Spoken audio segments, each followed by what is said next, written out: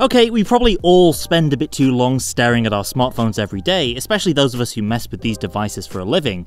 And whether or not we're strictly speaking addicted to our phones, fact is, most of us probably could be doing more to disconnect in a healthy way. That's the idea behind digital well-being, which is part of the new Android 9 Pie. Well, sort of. Digital well-being is in beta right now for Google's Pixel phones, and when it launches, it'll be coming to Android One and other devices as well. It's not quite clear whether that means that all phones getting Android Pie will also get digital well-being, we'll just have to wait and see there. However, what we can talk about today is digital well-being on the Pixel phones. This is a separate app on the Play Store once you have access to it, but once installed it then shows up as an item in the settings menu, so it's kind of a plug-in feature. Being in the Play Store of course also means Google can update it across all devices without having to roll out any new firmware. When you open it up, the first thing you see is your dashboard. It gives you your overall usage time for today, along with a pie chart breakdown of your most used apps, as well as total number of unlocks and notifications.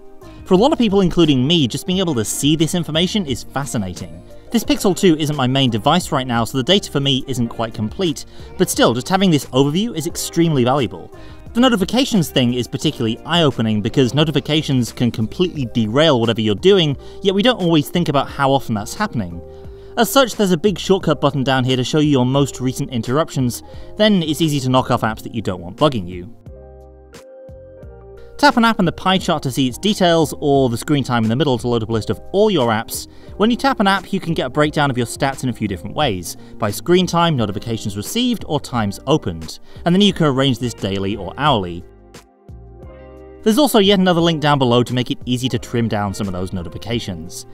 In apps like YouTube that support it, you can also view in-app statistics. YouTube will eventually be updated with digital well-being features like we saw at Google I/O Right now it's just a placeholder link into your video history.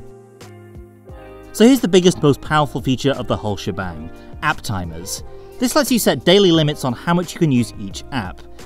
When your daily time's up, the app gets paused, which basically stops you using it until the timer resets the next day. It also means that any notifications from the app won't arrive during that time. Paused apps have their icons greyed out as you see here, and if you try and start them you'll get this little message. Hit learn more and you can see your stats from that app. Of course this means it's really easy to increase your app timer or disable it altogether at any time. You're still fully in control and with a few taps you can get back into mainlining Twitter or whatever. There's a debate to be had here about how easy it needs to be to deliberately sidestep the limits that you yourself have placed on your app usage, but I think what's currently there is a good balance. It first lets you see the information on your current usage, then requires a few more steps to re-enable a paused app. Wind down is the last major feature of digital well-being, and it's one that ties into a couple of existing Android features. You can set your start and end timer when that begins, your phone's screen turns black and white to make it less stimulating in late night use. If you combine it with Android's nightlight feature, which turns the screen an orangey red hue to avoid eye strain, it makes the whole interface look a bit like an aged sepia tinted newspaper. It also works with Android's new Do Not Disturb mode, which can now hide notifications entirely during off hours for even fewer disruptions.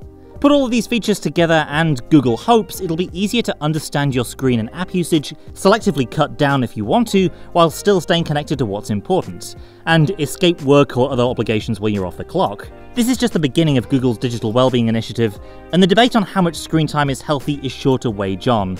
In the meantime, if you've got a Pixel phone, this beta is definitely worth a look. That's it for now. Check out our Android 9 Pie review for more on the latest version of Android, and subscribe so you don't miss our Galaxy Note 9 coverage and other upcoming goodness. Thanks for watching, and I'll see you next time.